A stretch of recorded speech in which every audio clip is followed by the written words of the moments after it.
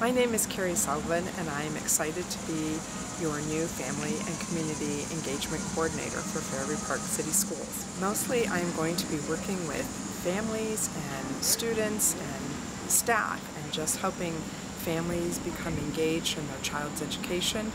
Um, I'm also going to be helping with any kind of resources uh, that families and parents may need so that students can come to Fairview Park City Schools and be successful at what they're doing in their education. My career has been working for about nine, ten years. I was a hearing impaired teacher in a classroom. Uh, then I went on to be a counselor for about 10 to 12 years and I was at the middle school and the high school level. Really, really loved that. Um, I went on then to finish my career as an intervention specialist where I was in classrooms as an inclusion teacher and also in self-contained classrooms.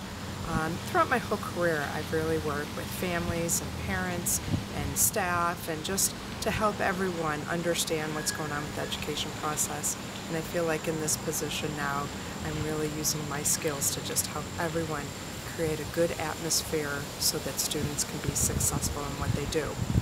If there's any topics that you may uh, think, uh, wow, I would love to know how to do this and that with my child, or how come this is happening, or you know, a lot of parents always ask about sleep and students and screen time.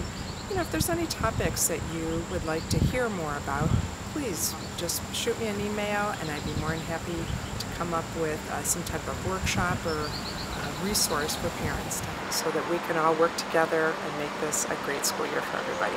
Thank you.